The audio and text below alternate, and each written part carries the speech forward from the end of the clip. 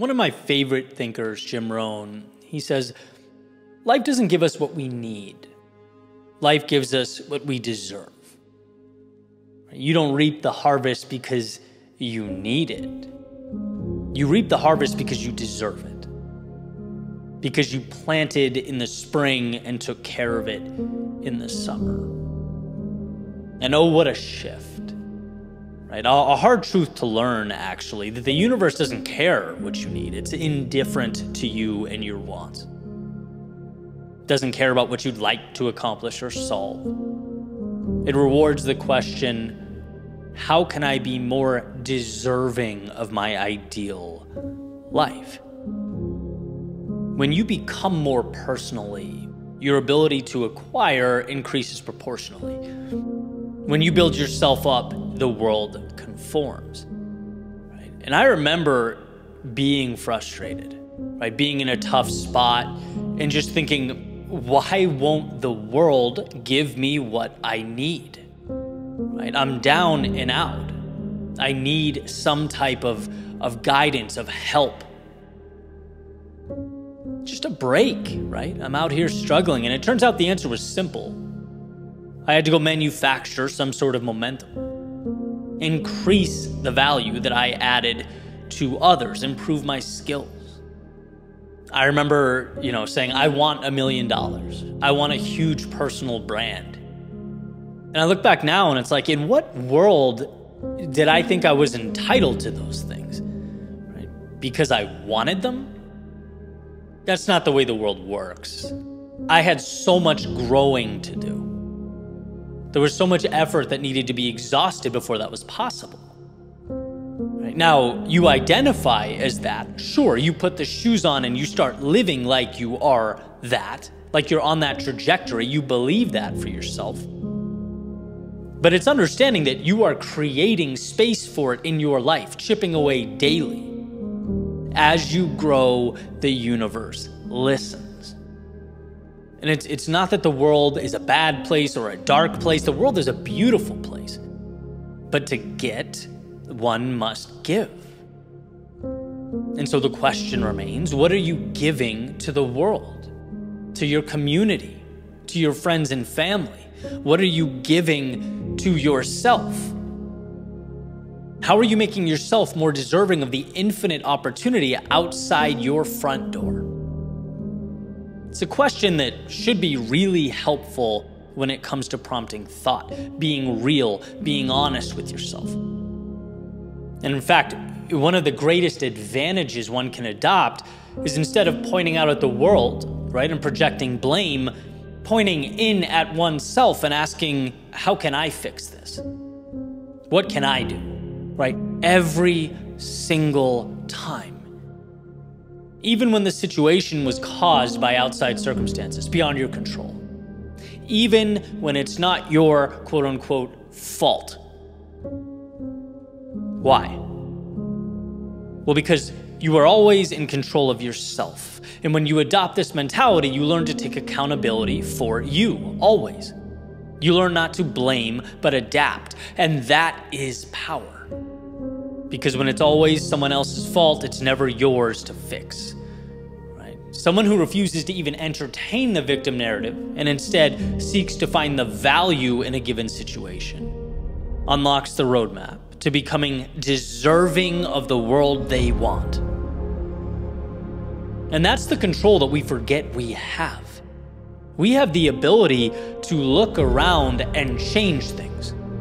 If we're not happy with them, we can adjust them, but we must first own them. We have the ability to tear down the walls that are boxing us in, to remove the characters in our stories holding us back. When you take action, you're building the life you deserve. When you look around and seek to alter the world as you know it, you're putting yourself in position to receive more from life. It's a simple lesson, but one of the most powerful lessons out there. The ideal life, the things you want, the things you hope for, they're not given to you externally. They are created within and projected out to the world. They start with self belief and manifest into daily action. Day by day, taking what matters and building it, creating a reality. The world doesn't respond to hopes and dreams, it responds to action. Because to be deserving is not to want, to be deserving is to create. It's to take life in your hands and carve out your own journey. Minute by minute, day by day.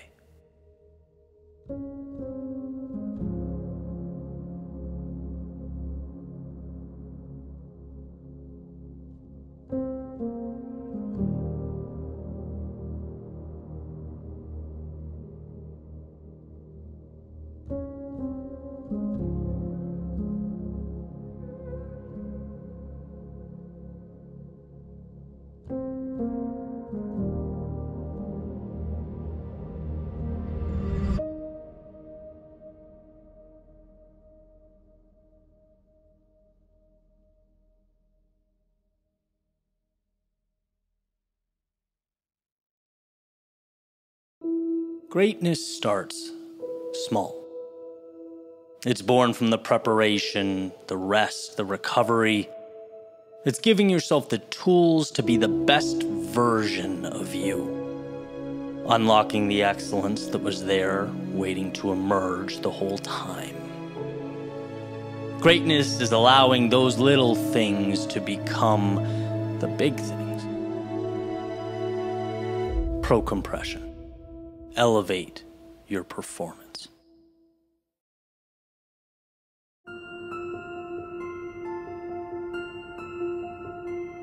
On that long drive, in the middle of the night with headlights and endless road in front of me, everything I knew in the rearview mirror, I learned the value of making the difficult decision.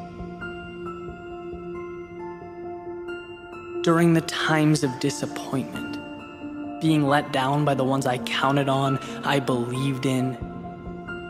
I learned the importance of loyalty, the power of being there for those who mean the most to you. Through the failures, the stress, the uncertainty, I learned that life goes on that when you allow yourself to fall, you build an immunity to the fear associated with hitting the ground. You get back up stronger. Through the heartbreak, the loss, the pain, I learned to appreciate every moment. To look around and not take any of this for granted to both recognize and appreciate the fragility of the present because with the snap of a finger, life can change. In the wake of past anger and conflict, I learned to pick my battles, that rarely is it worth my time. That our vantage points are merely a reflection of our backgrounds and understandings, and even the slightest effort to understand the person staring back at you can be the difference between building up and tearing down. From being overlooked, disregarded, the smallest person in the room, I learned the value of true leadership. The benefit of empowering those around you and making them feel appreciated that walking alone may sometimes be necessary, but that building a vision that those around you believe in is unparalleled. Life is a teacher, and only through its toughest tests can its curriculum be understood, can its ideas and lessons take shape. What you need exists so long as you open your eyes. And you'll find an inevitable truth that this universe, it wants you to win. It's holding its hand out, providing you everything you need. Just understand understand that the lows prepare you for the highs. The losses set up the gains, the mistakes build a foundation for the greatest things you will ever do. Life is a teacher. And should you listen, you'll see that it has no bounds, no restrictions, just the next chapter.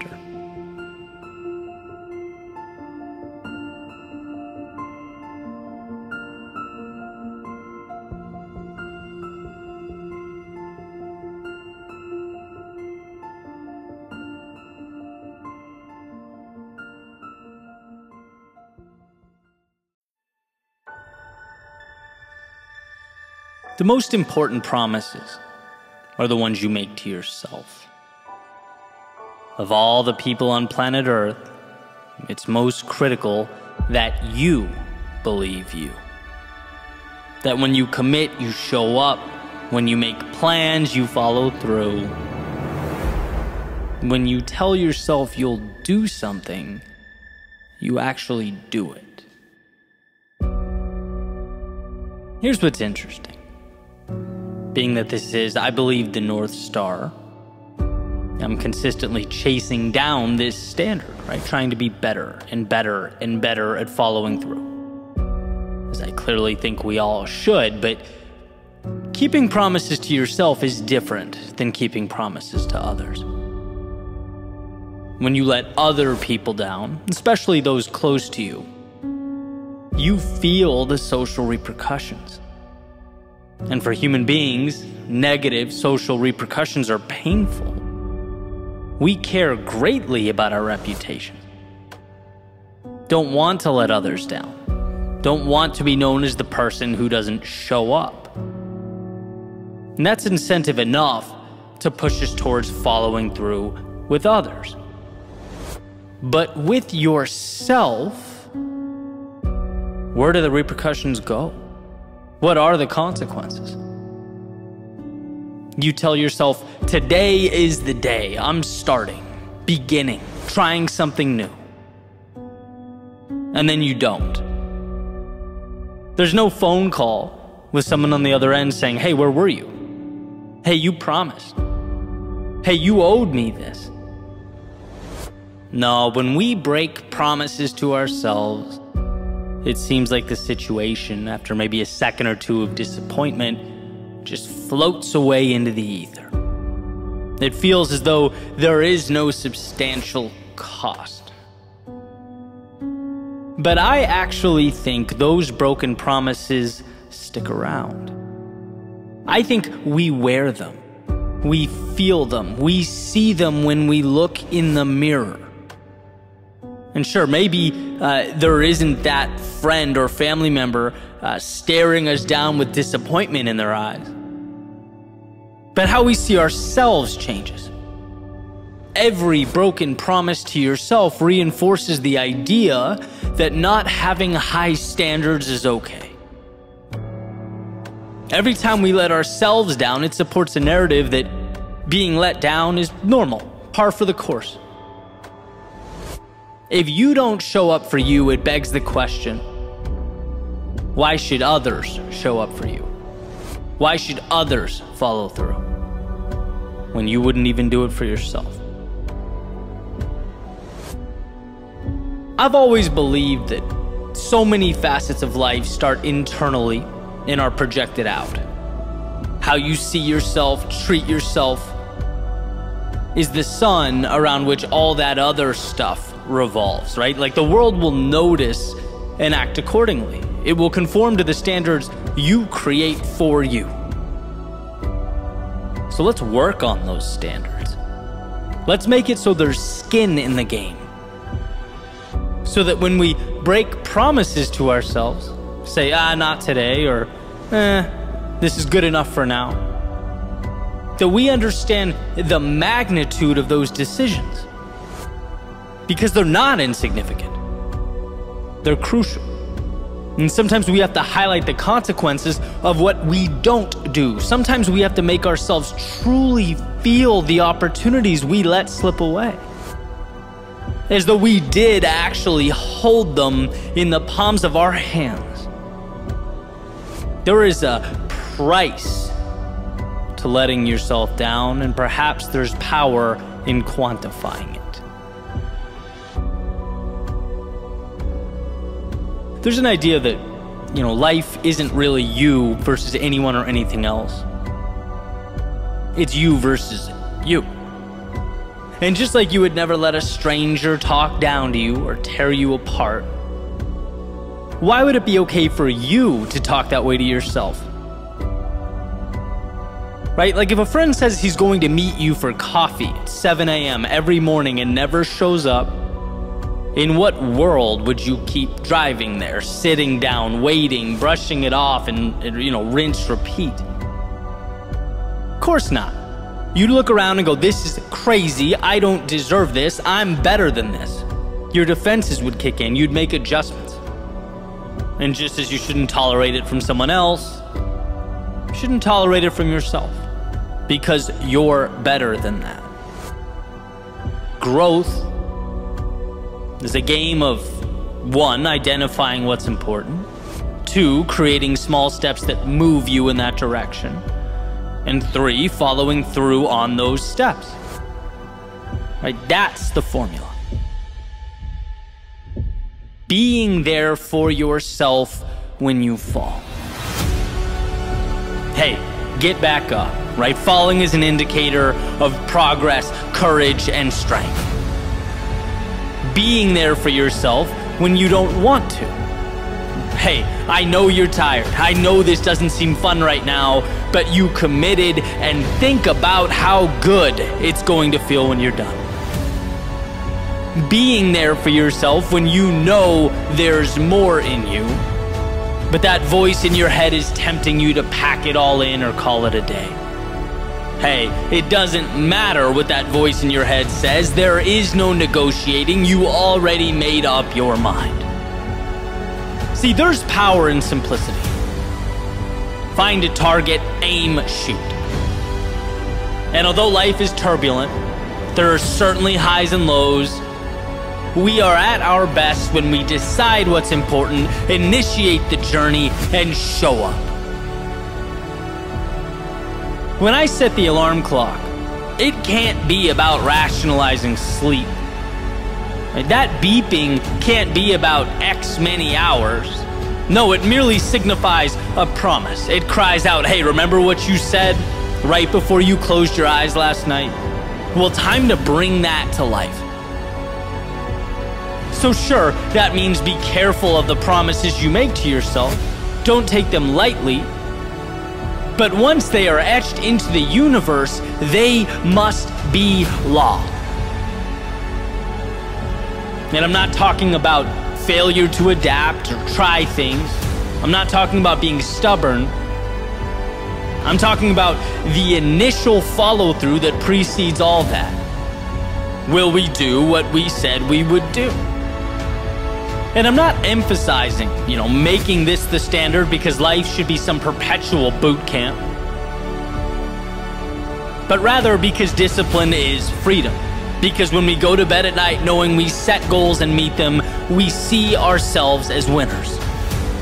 People follow through on who they believe themselves to be. It's an endless feedback loop.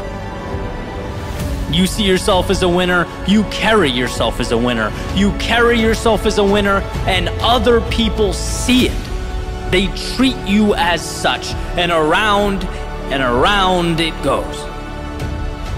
So when you feel like skipping or procrastinating or quitting on yourself, remember that it's not just that immediate moment at stake.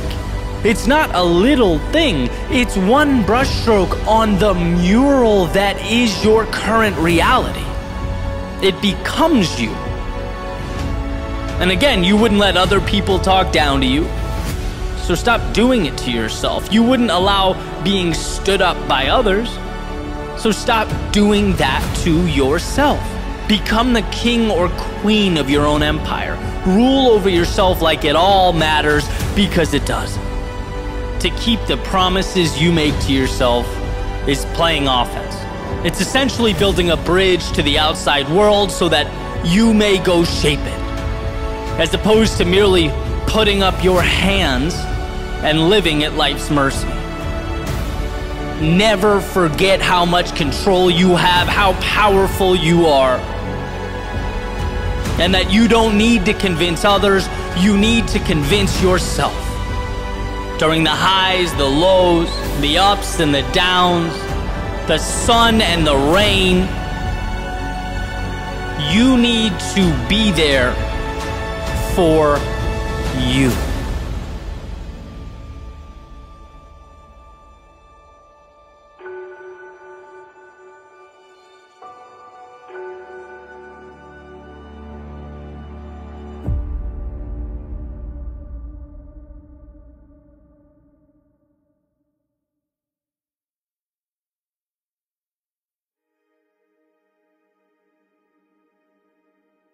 Life is perspective.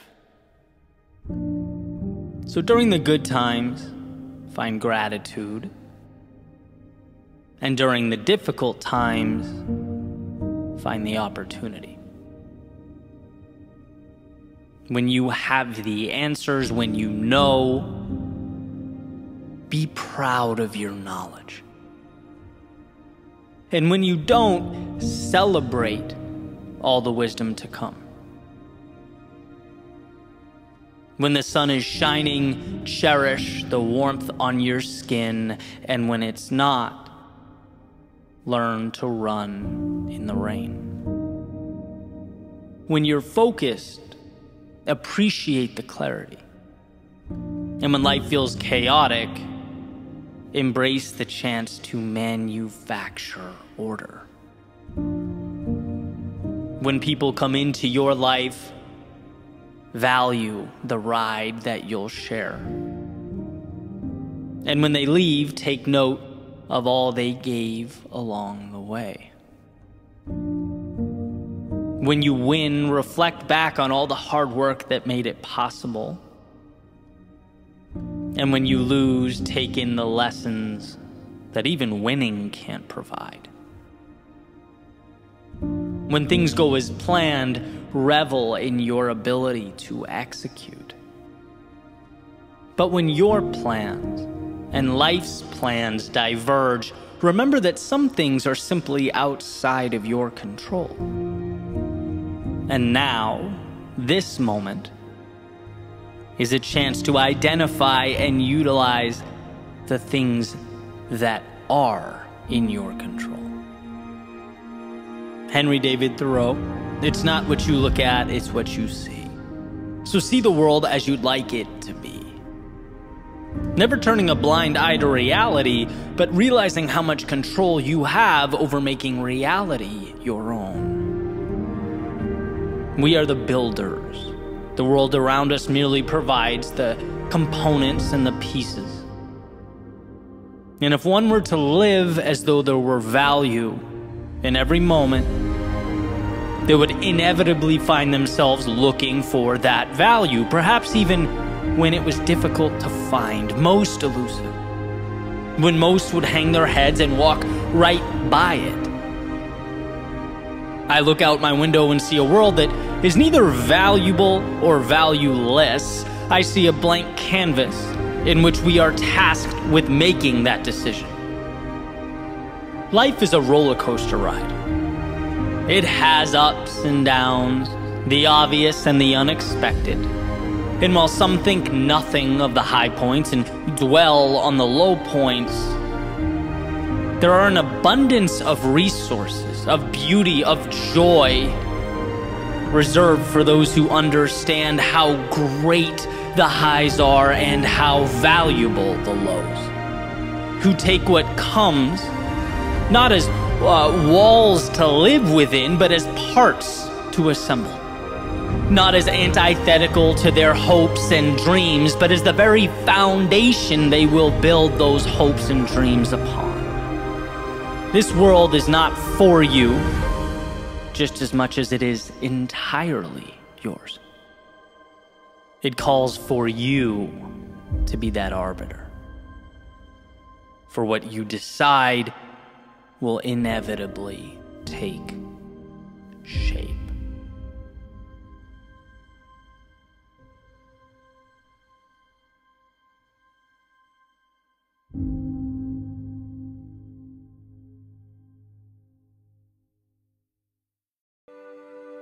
Marcus Aurelius once said, It's not death that men should fear, but he should fear never beginning to live.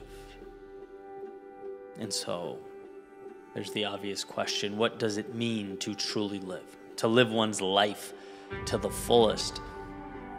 I don't think that's a, a one size fits all question. I think we all want different things. I think an ideal reality is different for every single one of us, but I do believe across the board. Everyone should be looking around and reflecting and asking what matters to me and am I living in a way conducive to that? Am I positioning myself for that life? Or conversely, have I built walls? Am I doing things just to do them? Have I confined myself to a world of limitation? Right? That is the question. On a recent podcast, Ryan Holiday said something on the topic that I thought was pretty profound. He said, Amateurs are obsessed with tools, referring to productivity stuff. He was chatting with productivity YouTuber. And it's like, okay, well, why is that concerning, right? To be obsessed with tools.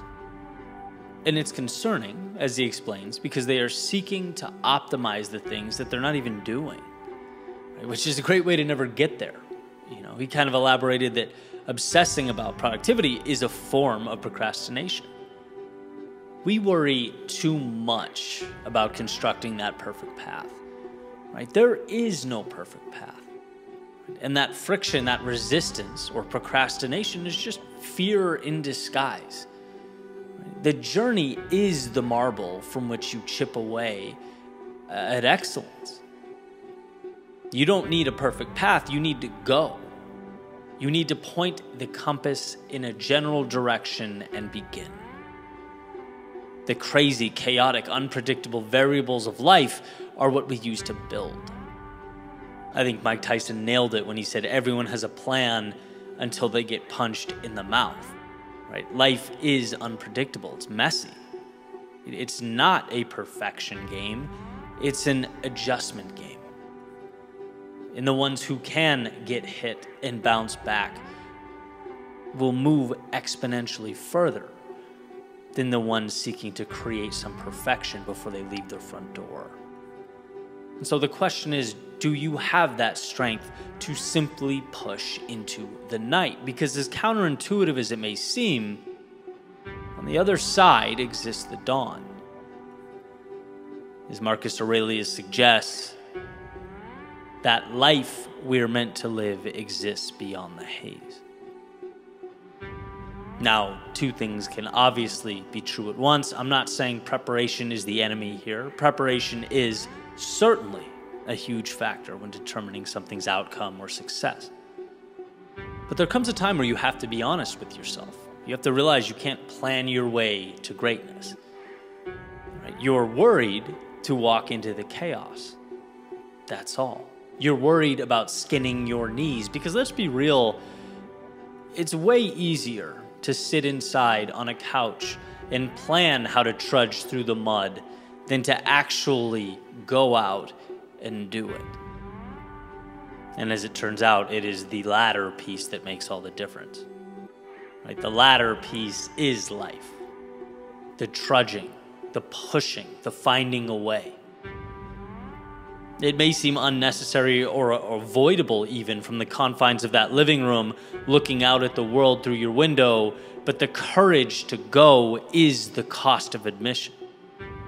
It's the thinker versus the doer metaphor, right? By the time the thinker has acted, the doer is long gone, 1,000 feet ahead. They've made their mistakes, they've learned, they've collected data, they're planning in real time as their feet move. That's life as it was meant to be lived. And believe it or not, that's the rubric by which we'll actually judge ourselves. Did I have the courage to do the things that mattered? You know those situations, we all come across them, where you're kind of kicking yourself for not doing something that was just a little uncomfortable? Your heart, your soul was trying to push you there, but you couldn't bring yourself to do it. Maybe speaking in class, proposing something at work, asking someone out, submitting something online, whatever it may be, the ship came and it went.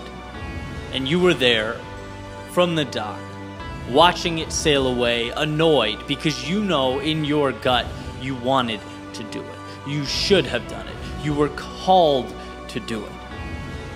Well, take that feeling and bottle it up. Multiply it by whatever number you think is sufficient for someone at the end of life, in their 80s or 90s, looking back at all those times they didn't act. Reflecting back on all those ships that they had to watch sail away. Why? Because they were waiting for perfect. They waited so long and so desperately for perfection that life slipped away. That's a pain I never want to feel.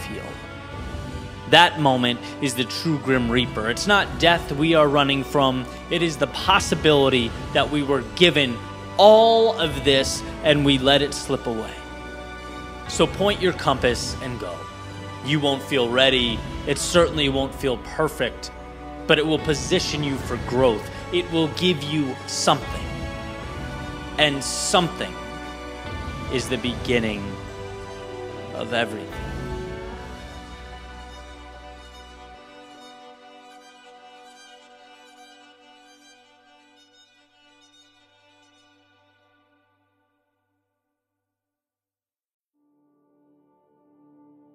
I had a friend recently tell me consistency is more important than intensity. Interesting, I thought. I put it in my back pocket and moved on with my day but the more I thought about it, the more I realized how valuable those words are, how necessary. I think because typically my brain associates the acquisition of more with an increase in intensity.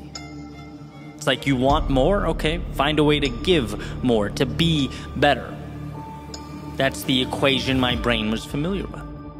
And while not necessarily wrong, what it can do is diminish the power of showing up. It neglects the compound effect. The reality is that consistency over time becomes intensity. A snowball rolling downhill doesn't just increase in size, it increases in speed. Intensity is second to consistency because consistency creates intensity. Consistency is the material from which everything else is made. And we forget that. Thinking about how much bigger, better, stronger we'd like to be. Why can't I just leap a mile? Well, my friend, it turns out you don't have to. Miles are comprised of single steps. I wanted my run yesterday to be about three fourths intensity. Decided the goal would be to land just under 8 minutes per mile, 759. Would put me in a good spot for my plan for the week. But as happens, from time to time, the sun, the heat, my body weren't about it, right? And halfway through the run, I'm a little higher than I wanted to be, averaging about 801, 802 per mile, a little above my mark. And I thought to myself, you have to be better. You have to make a move right now. You have to find something in there. But did I? Did I have to find anything? Because it turns out I was right on track and didn't see it. What I needed to do was simply hold the 8 minute pace, 801. Just hold it. That keeps me in the game. Then we kick it up at the home stretch and the last sprint will be enough to get my cumulative average down to 759 per mile. No miracles here. Forget the intensity. All the world is asking of me is consistency. Show up, step by step, keep myself in the game. It's amazing that when you're hurting, the mind plays highlight reels of everything you lack, everything you're not doing. right? It's reaching. We get so uncomfortable or impatient that we think we need uh, to perform magic tricks. And it's like, no, keep showing up, keep yourself in line. The intensity is a derivative of the consistency, and it will make its presence known. So during those first seven miles, I showed up, I committed, and I held on, right? Understanding the assignment, big picture. Not only about consistency, staying calm, and then, as planned, picked it up at the last mile, hit that goal. See, these little mental games are packed with value. They reinforce bigger picture truths. Show up, put in the work, find your rhythm, and hold. Don't stress yourself out looking at finish lines you have not yet crossed. Don't let the delta between where you are and where you want to be intimidate you. Right, that's precisely the reason people quit and walk away.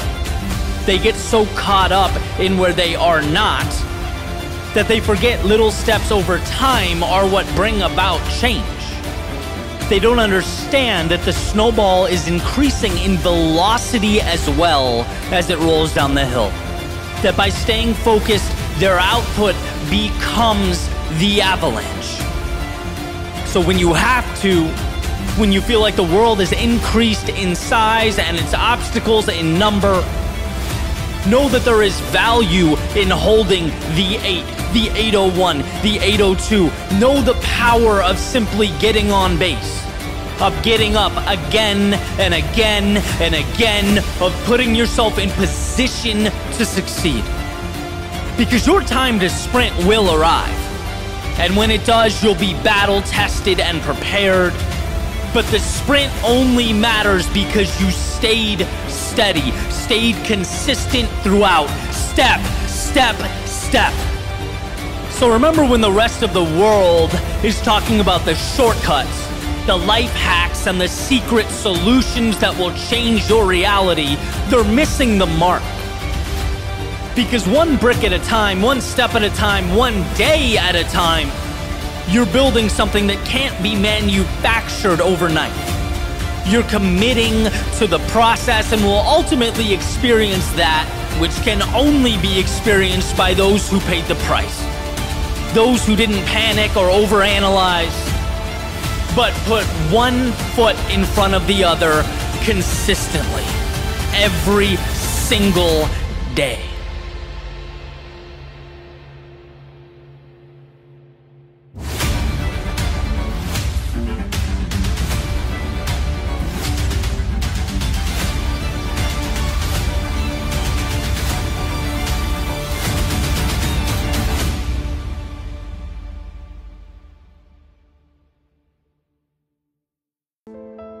The end of a windy dirt road in the mountains of Sedona, I saw what life could be. It wasn't unveiled as though someone turned on the lights, but dripped, one moment at a time, into my soul until the cup was full. Drip, drip, drip. A mural gaining clarity with every step backward away from the initial starting point, where I was so close that I could make out nothing but indistinguishable shapes and colors. The end of a windy dirt road in the mountains of Sedona. Life made sense. Drip. Growth is an identity shift, period. Meaning that if human beings follow through on who they believe themselves to be, then one must believe himself to be something new in order to initiate that change. And no, not just see that version of himself, not just acknowledge it, but believe it. As sure as that sun will rise, so will a new version of you. At the end of a windy dirt road in the mountains of Sedona, I was reminded to ask not is it possible? But Eddie, do you, with your entire being, believe it to be so? The first question is always true. it's the second that waits for your permission. Drip. Weight is transferable. What do I mean by this? Well, hiking up a mountain with 30 pounds on our backs, we saw a few things. Life throws curveballs. Not because the world is bad, but because that's what life does. It's hard. And thank God, because through the storms, we learn to become capable navigators.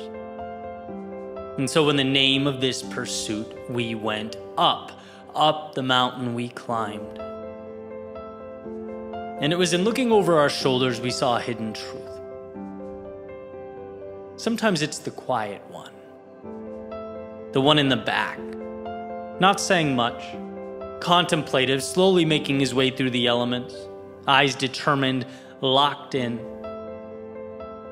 Sometimes he is the experienced climber. Already been up and down mountains others couldn't even imagine. Mountains of 30 years, battling autoimmune issues, hip surgeries, and blood transfusions. Sometimes he is carrying far more than 30 pounds of weight on his shoulders, and his fellow travelers, you can't assume that you know what others carry with them. At the end of a windy dirt road in the mountains of Sedona, we were shown that strength is a willingness to help your brothers and your sisters carry that weight when needed. Sometimes it's visible, sometimes it's not. To always have that hand extended. And just as important, when you are the one with the weight, having the courage to let others give you a hand. The courage to say, Look, I've been up mountains and down valleys. I'm working and trying and growing, but right now, this is more weight than I can bear. Can you help? Drip. We far too often give up the great in exchange for the good. Plateau number one. It's beautiful. It takes a long time to climb there. You look down on a world never seen before. An incredible view. It's new, it's exciting, and soon it becomes enough. It's a controversial word enough. How much does one need? Is life merely an ever evolving climb? A race to our deaths, to the abyss from which we emerged? Well, here's what we were reminded by a fellow traveler at the end of a windy dirt road in the mountains of Sedona the effort to go from where we were at plateau number one to the top, the very top, the I can see the world from here top was minimal, perhaps even negligible. It was a mere decision, but the view at the peak was 360 degrees, jaw dropping. Somehow even more beautiful. But most importantly, it was there. It was always there calling us beyond the distraction that is enough. And perhaps you owe that to yourself, perhaps the world, to not deprive it of your gifts, the very gifts that materialize as you make your way from plateau number one to the very top, the peak. Perhaps it's time to acknowledge how much is wasted when we fall in love with enough and not the journey that is a life fully lived drip. The gold lives beyond the silence.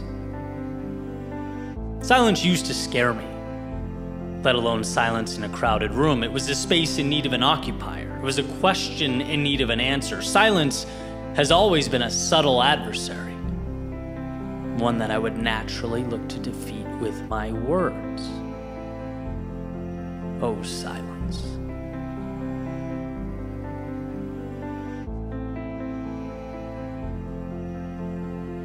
But at the end of a windy dirt road in the mountains of Sedona, I learned that silence is an invitation, that magic often lives on the other side. That if you let it breathe its slow, calming, methodical breaths, it will breathe wisdom back into you. that 20 beating hearts with the courage to let the drum of silence beat alongside them will see that which they were very recently unable to see. Drip. Power is in letting go. You know this. I know this. We know this because of the narratives we take with us. The signaling our eyes convey to the world, apparently, whether we want them to or not. It's never been about the acquisition of more, but the courage to let go, to strip away layers, to tell the right stories, sure, but also less stories overall to hone in on the important stories. There's no requirement today that says we must be attached to yesterday. There is no life sentence that demands we remain cellmates with past mistakes. At the end of a windy dirt road in the mountains of Sedona, I saw that the freedom to recreate oneself is perhaps the greatest gift each sunrise presents. Drip. You can be the one. A message eloquently conveyed by a carrier who practiced what they preached. Noting whether you were a beggar in a past life or a prince in this one, whether your family heritage is one of poverty or nobility, right now in this moment, you can be the one. It takes one person to stop a trend. One person who says, No more, I'm done, this ends here. It takes one person to adjust the compass and begin walking another path entirely. At the end of a windy dirt road in the mountains of Sedona, 40 eyes stared off into space, knowing, feeling, trusting that their journeys to become that one were already underway. At the end of a windy dirt road in the mountains of Sedona, I saw what life could be. It wasn't unveiled as though someone turned on the lights, but dripped one moment at a time into my soul until the cup was full. Drip, drip, drip. A mural gaining clarity with every step backwards away from the initial starting point where I was so close that I could make out nothing but indistinguishable shapes and colors.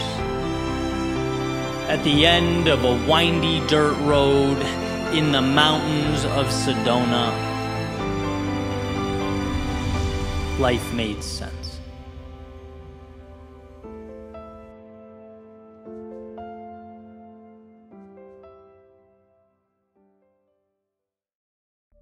Seneca said, He who is brave is free. Because to be free is to face your fear. It's to intentionally step into the chaos of life, and in doing so, unshackle yourself from fear's restraint. He who is brave is free because freedom is only obtained in pushing past the original restriction and hesitance. Freedom is moving through the haze and carving out a life on your own terms. As someone who spent time on both sides of the fence, I can tell you, you know, I lived a, a pretty substantial portion of my life playing scared, lacking the courage to step into what was meaningful, right? Playing someone else's game which, even if you win, is just a reminder that you are living in the shadows of life. But should you approach the other side, should you find the courage to step through, you'll see that the walls that once surrounded you were self made. The layers of concrete that inhibited your freedom and your opportunity, they were built by you. And just as you built them up, you can tear them down. See, there's a life others would like you to live. There are things others would like you to say. There are beliefs others would like you to believe. And it would be easier to chant along, to nod your head and conform. But it would certainly not make you free. See, freedom is taking head on that thing you've been scared to do. But you know on the other side there's more, and you refuse to deprive yourself of it. Freedom is saying what you believe because even though it may be unconventional or different, even though it may be deemed unacceptable, it's in your heart what you believe. Freedom is going not where others have gone, but where your soul leads you. Through new landscapes and towards distant horizons. Which brings us to the question of all questions Can you find the strength? Can you dig deep and unveil a world unrecognizable to most? Can you move beyond the facade of reality as it is now and construct something truly meaningful? If he who is brave is free, then we must remind ourselves that courage is the spark that ignites the next chapter of life. We must remind ourselves that the discomfort is worth it. The doubt will be transformed into answers. And sure, pushing through that resistance is not easy, but nothing is more difficult to carry with you than the knowledge that you chose to live in a cell of your own making. So here's to finding the strength, the courage, and the self belief to live free.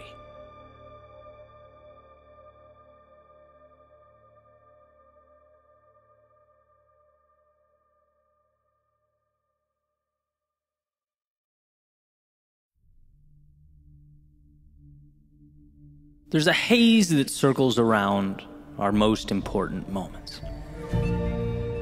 And I say haze because often the things that will uh, be most meaningful in our lives or that will best position us for future transformation or success, they don't accurately depict the value that they ultimately provide. In fact, a lot of the time we get the opposite impression. The answer is deceptively masked as the problem. The thing we are most inclined to run away from. It's often unclear to us that the pain we're experiencing will become the purpose. The loss will become the strength. We can't always see that losing the job will become our reason to find ourselves and the work that will be most meaningful. We don't always understand that losing someone that was a big part of our lives will ultimately create a little space that will bring about connection with others who will lift us up and make us better. We aren't always aware that falling short is incredibly powerful because it's what most often prompts us to look in the mirror and ask that magical question how can I be better? Again, we see it in a million different ways, different contexts. The solutions masquerade as problems. Or, as has been famously put, the way often presents itself as the obstacle. Which means we have to operate with a sense of awareness and understanding that often eludes us. Sometimes the reality is that it hurts to let go. But if it's not right for you, it hurts to hold on as well. The difference is when you do find the strength to let go, you simultaneously create space for the things that will make your life better.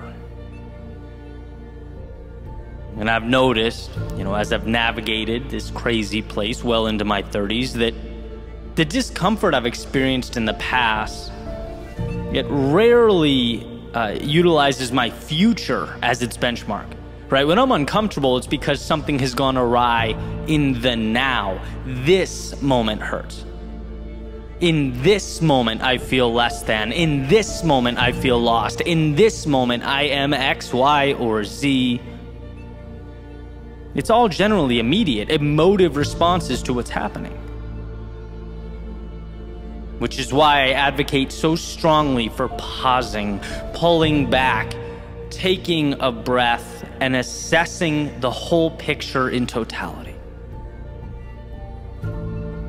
See, I've made decisions in my life that have set me back a year, right? That destroyed me emotionally, totally altered my plans. And I look back on some of those decisions now with all the pain they brought, and I think, you know, was there another way? Did I make the right move? Did I need to endure all that? And I'm not going to pretend, you know, I know how some parallel universe would have unfolded if I acted differently. But as I reflect back, I still think that I made the right choice. I don't see another way.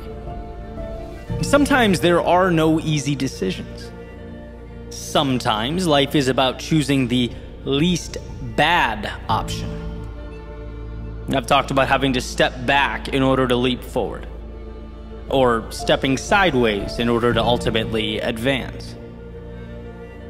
Sometimes the thing we need just looks like discomfort, the sheep in wolves' clothing, where you have to seek out monsters in order to destroy the ones that live inside of you. The reason, one, I think this is so important, and two, I'm so passionate about sharing it with others is because, again, our instincts drive us away from the things we need most. That's just how it is. Humans are more uh, emotional than we are rational. And there have been plenty of times where, you know, just being reminded, you know, Eddie, I get that this is challenging, but where do you most want to go? Eddie, you're playing defensive, which I'm sure minimizes problems now, but will never propel you forward with your career. Eddie, you're dragging your feet and calling it perfectionism. Could it in fact be fear? right? I've had a lot of these little, uh, and sometimes not so little, epiphanies over the course of the last decade. You know, when people ask me about speaking, which being that I do it for a living would make sense, right? Tips or insights, whatever it is, I'm being completely sincere when I say that I wish I had some formula I could propose, right? That would make you go from zero to 60 in three months. But the truth is, the biggest bang for your buck is stepping right into the terror. The thing you're most inclined to run from. And that was it for me, right? Sheer terror. Actually shaking. Nights where I stayed awake, reciting keynotes into hotel mirrors. Couldn't eat. And I'd, you know, wrap up, the event would be over, I'd just go back to the room and collapse in bed because I hadn't slept the night before, right? That's how it started. And the more times I didn't give myself a way out, the more I saw past the fear, put emotions aside, and reiterated to myself that underneath all that discomfort was value, the better I became. The less dramatic each speaking engagement became. And the terror evolved into excitement. Eddie, please get through this, eventually evolved into Eddie, how can you make this speaking engagement more exciting, more fun, more captivating than the last one? Right, I recently spoke at the MGM Grand Arena, and it was one of the most incredible experiences of my life. And I'm sure you can imagine, not necessarily because of the event, but it prompted me to think back to all those times I wanted to say no so badly, with all my heart, with every fiber of my being, but didn't. It was just a proud feeling. Like you get those moments from time to time where everything becomes a single snapshot. It all makes sense. Because right? there times I truly didn't understand why I was moving forward. I just did. I just knew I'd burn the boats. There were no other options. And when you collect that W, you quickly remember. And so, all this to emphasize the very important point that it may not be speaking at the MGM Grand Arena that's your North Star. Maybe it's something totally different. But I want to remind you that the road to wherever you most want to be is not perfectly paved and decorated with flowers. It won't always be sunny with clear blue skies. And to take it even further, the paths that are paved with flowers and clear blue skies are often the wrong ones. In a world of trade offs, we know that the best things often require the greatest sacrifice. The beautiful things are often derived from a willingness to endure prior turbulence. And should you find yourself amidst all that, in the thick of it, it's essential to know that should you choose to do so, you can transform the chaos into something incredible. Realistically, that pain of loss we can't do anything about, right? Nature has made it so that we feel every sense of what's been taken away. But nature doesn't do such a good job of reminding us of the infinite value that can now move into our souls, be used to open our eyes so that we may see the world as we've never seen it before. There is such power and the ability to view that fleeting emotion, the discomfort of now, in terms of what it will ultimately become. As the saying goes, the hardest thing and the right thing are often the same thing. So be your own judge, your own critic.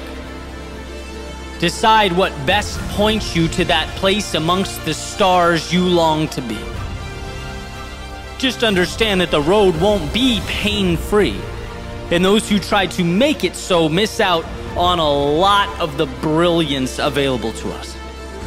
That haze that tries to conceal what's most important is only effective if we keep our eyes closed, if we aren't honest with ourselves. But if you know, one, what's most important, and two, are committed to one day arriving there, the short term obstacles become a relatively small price to pay.